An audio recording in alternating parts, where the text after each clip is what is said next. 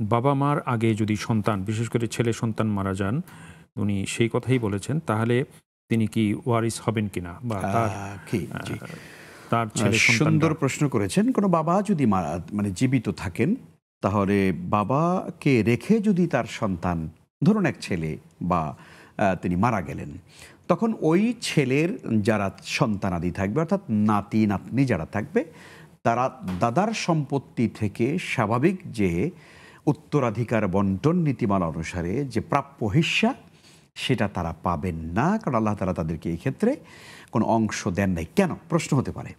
যেটা কি একটা অমানবিক আইন নয়? বরং আকল তো এটা বলে দেখা বাবা মারা গেল এখন এই এতিম সন্তানগুলোকে বরং আরও বেশি তো দেওয়ার কথা। হ্যাঁ এটা আমাদের স্বাভাবিক বিবেক বলে। কিন্তু শরীয়ত তো আসলে বিবেক বিবেকে বিবেক যেখানে গিয়ে স্তব্ধ হয়ে যায় শরীয়ত সেখান থেকেই শুরু শুরু হয়। এটা আমাদেরকে বুঝতে হবে।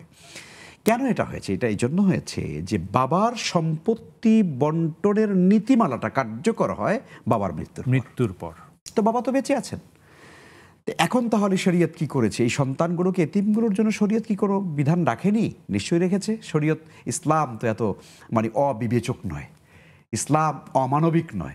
যেটা আপনার আমার চিন্তা এবং মাথায় আসে তার সমাধান হাজার হাজার বছর আগে আল্লাহ তাআলা আমাদের জন্য দিয়েছেন। সেটা হলো এই যে ওই দাদা ছেলে মারা গেলেন নাতি নাতনিরা আছেন ওই দাদা তার গোটা সম্পত্তির ওয়ান থার্ড তিন ভাগের এক ভাগ তিনি ওসিয়ত করতে পারবেন।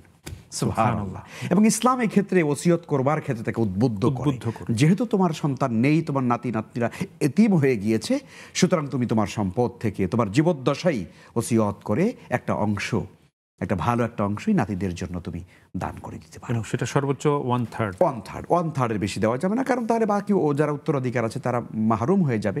তো কাজে দাদাদের উচিত হলো এই কাজটা করা ইসলাম তাকে এই কাজ করার অনুমোদন করেছে।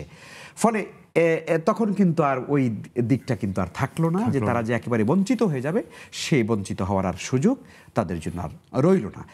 হিসেবের চাইতে আরও বেশি পাওয়ার সুযোগ বরং আরও বেশি পাওয়ার সুযোগ। বেশি পাওয়ার সুযোগ আছে। জি শুক্র।